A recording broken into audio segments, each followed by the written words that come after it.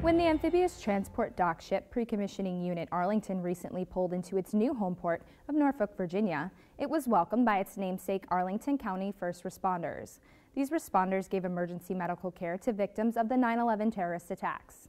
The USS Arlington represents sort of a floating symbol to recognize the people who lost their lives on 9-11 and also the efforts of the first responders on that day that came from not just Arlington County Police and Fire, but from the entire region. Just like on 9-11, everybody pulled together.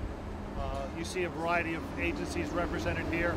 Again, everyone pulled together to come down here. We thought it was important that we meet the ship, and I think the sailors on that ship already know, and this just reinforces uh, how important it is to us. From the Defense Media Activity, I'm Petty Officer Amara Timberlake.